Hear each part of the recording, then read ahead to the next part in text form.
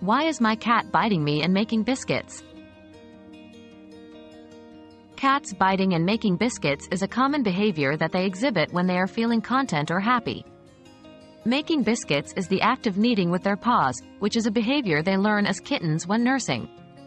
When they bite, it is usually a gentle nibble or a love bite to show affection.